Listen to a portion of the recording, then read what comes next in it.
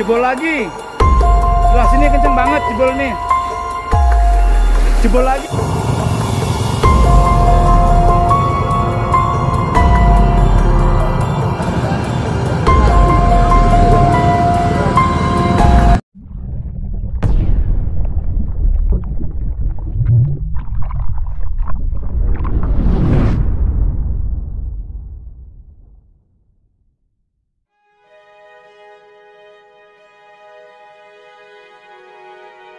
Perumahan di Pondok Aren di wilayah Tangerang Selatan, kembali terdampak luapan sungai setelah tanggul sementara di Kali Ciputat jebol pada Jumat tanggal 22 November tahun 2024. Luapan air mulai menggenangi rumah warga sekitar pukul 15.20 waktu Indonesia Barat dengan arus deras yang merendam kawasan Taman Mangu Indah.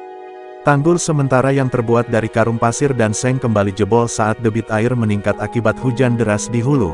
Proyek perbaikan tanggul yang sedang berlangsung dinilai belum mampu menahan derasnya aliran Kali Ciputat.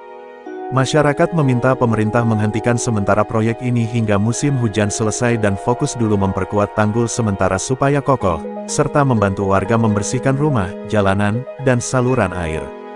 Dinas Sumber Daya Air, Bina Marga dan Bina Konstruksi DSDABMBK Tangsel menjelaskan bahwa bencana tersebut disebabkan oleh curah hujan tinggi yang meningkatkan debit kali Ciputat hingga melebihi kapasitas tanggul. Perbaikan tanggul ditargetkan selesai pada akhir Desember tahun 2024.